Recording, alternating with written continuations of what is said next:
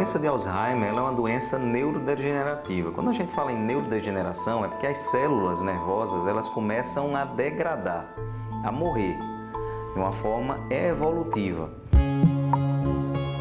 Inicialmente, ela evolui com alteração da memória, a memória recente.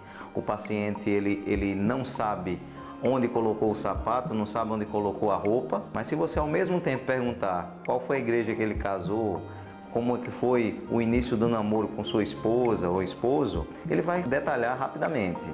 Depois ele vai tendo alterações de neurocognição. O que é que seria neurocognição?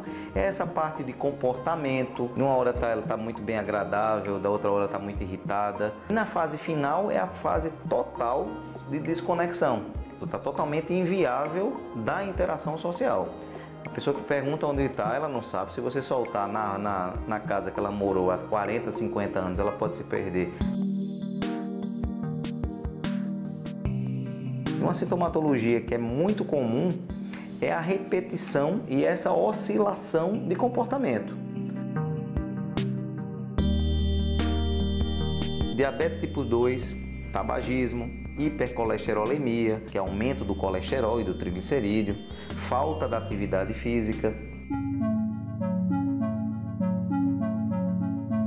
Se faz a parte da dosagem sérica, ou seja, no sangue, pode ser feita também através do exame de ressonância magnética e o diagnóstico mesmo fechado. Você junta dosagem, com a parte da ressonância é o exame clínico, o exame físico, através do Minimental. Vai verificar a parte da memória do paciente, vai verificar a parte da integração da resposta, se a resposta é rápida, se não é rápida, se a resposta está adequada à pergunta.